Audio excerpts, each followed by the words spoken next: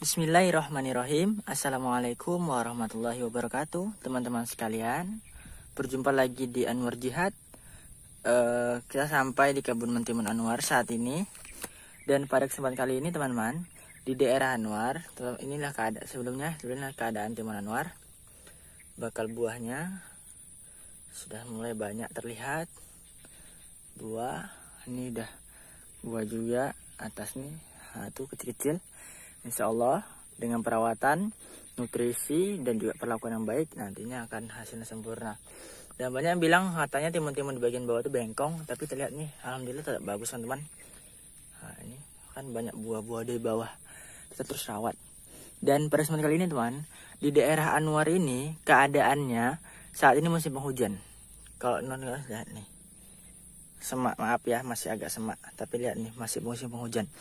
Dan di musim penghujan ini teman-teman di di mana saat ini keadaan timun kita bakalnya pada masa pengangkatan buah ataupun pembuahan dan pembungaan. Jadi pada masa ini eh, status ataupun perlakuan pH itu sangat menentukan. pH tanah ataupun tingkat keasaman tanah. Peraturan untuk pH tanah untuk tanaman mentimun ini yaitu sekitar 6 sampai 7 pH-nya jadi kalau dengan musim penghujan ini, maka di daerah Anwar nih yaitu rentan terhadap pH tanah yang uh, semakin asam. Artinya pH-nya itu semakin menurun. Kalau tingkat keasamannya semakin naik, maka pH-nya semakin turun itu teman-teman. Jadi pada kesempatan kali ini untuk mensiasatinya, Anwar akan memberikan dolomit.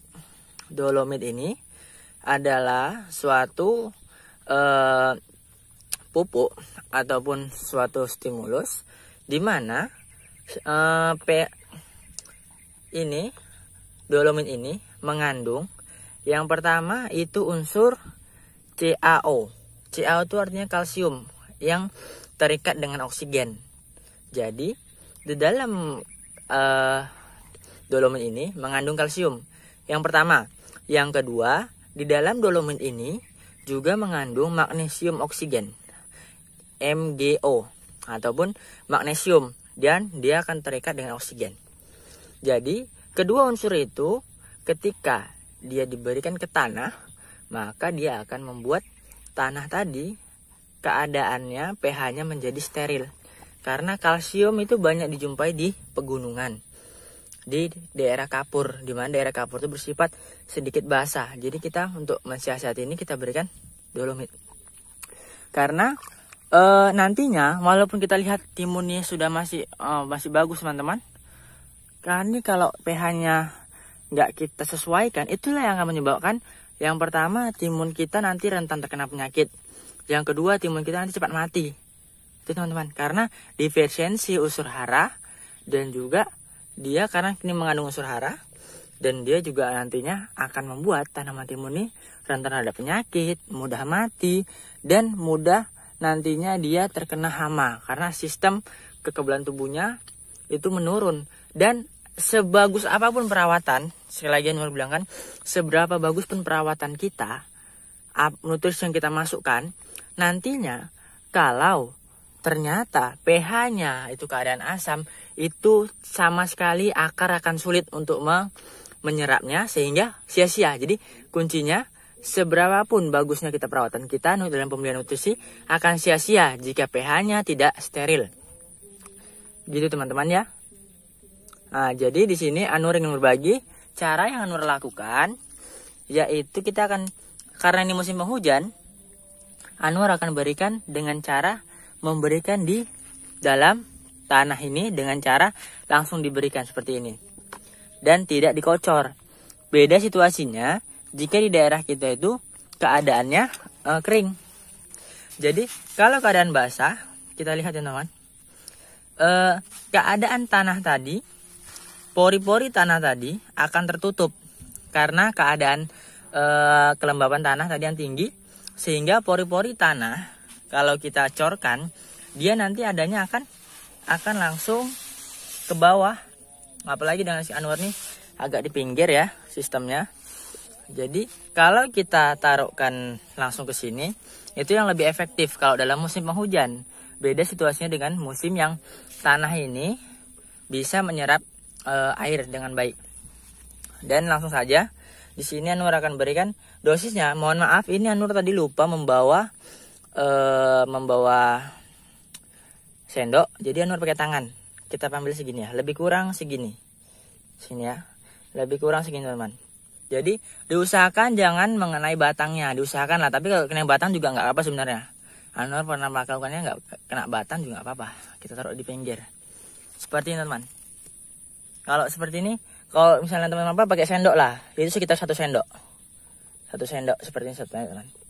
Kita kasih di sini. Jangan kena ya. Seperti itu. Ya kasih lagi ya. Ini ya. Gitu. kasih lagi di sini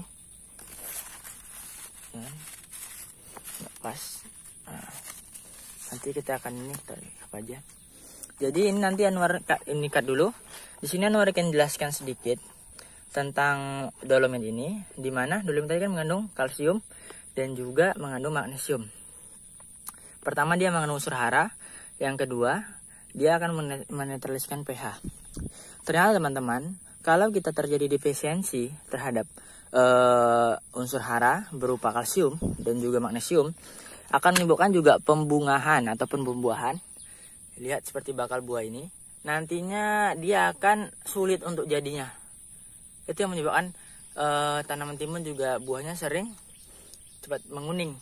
Nah, bawahnya nih mana tuh udah ini Anwar lakukan pemangkasan ya. Eh, teman-teman. Oh ya teman-teman, Anwar lupa sini menyampaikan uh, usia tanaman timun Anwar saat ini. Di mana usia tanaman timun Anwar saat ini itu berusia sekitar 25 hari setelah setelah pindah tanam. Itu teman ya, 20 hari. Kita lakukan lanjut aja. Oke teman-teman, terus ikuti channel Anwar untuk bisa mengetahui lebih jauh tentang budidaya tanaman. Jangan lupa ya, tekan tombol subscribe-nya. Kita akan terus berbagi ilmu. Karena subscribe itu gratis, nggak bayar teman-teman. Hmm. Jadi mungkin sekian dulu teman-teman dari Anwar di usia 25 hari ini. Uh, kalau ada teman-teman request silakan. Nah, nanti Anwar akan buatkan video uh, berhubungan dengan pertanian. Lebih kurang mohon maaf. Uh, dan jangan lupa sekali lagi tekan tombol subscribe-nya karena subscribe teman-teman akan membuat Anwar lebih bersemangat dalam membuat video ini. Dan yang pentingnya tadi melakukan ini ya. Pemberian dolomit. Dadah. Assalamualaikum warahmatullahi wabarakatuh.